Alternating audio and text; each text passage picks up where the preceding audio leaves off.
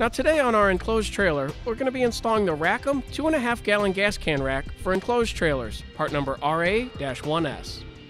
This rack is also available in a 5 gallon rack, which is part number RA-1L.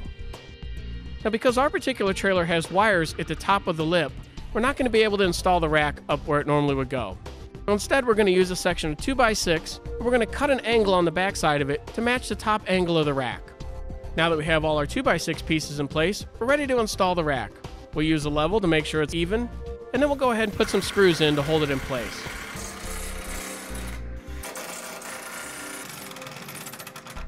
And with that, that's all there is to it to installing the Rack'Em 2.5 gallon gas can rack for your enclosed trailer, part number RA 1S.